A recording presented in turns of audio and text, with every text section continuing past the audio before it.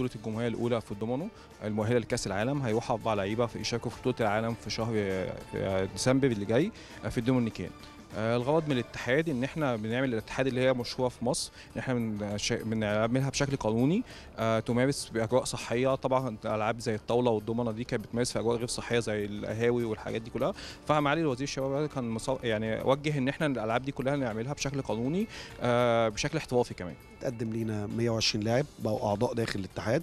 ال 120 لاعب الأعضاء داخل الاتحاد دخلوا بطوله مجموعات بنظام المجموعات.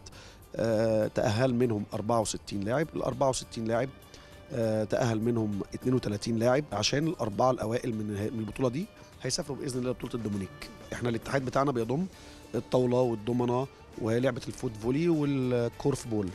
آه، بالنسبة للطاولة والضمنة يكون لعب طاولة أو ضمنة قبل كده واهلا وسهلا بيك. عضو من أعضاء الاتحاد ويشرفنا وينورنا. طبعا سعدت لما عرفت وعملوا إعلان فاشتركت فيه لأن أنا الشغل والحياة كلها بتبقى جد لازم الواحد يعمل لنفسه آه، جزء ترفيهي عشان يخفف عنه أعباء الحياة. فأنا عندي هوايات كتيرة بعملها في البيت أو مع القرايب والأصدقاء وكده. فقدمت يعني. واشتركت في البطولة. وبعدين طبعا هي من الناحيه التنظيميه بصراحة كانت ممتازة. وناس بذلوا جهد كبير الناس المعاونين والحكام وكله. بداية الأدوار التمهيديه طبعا آه، كانت نظام مجموعات.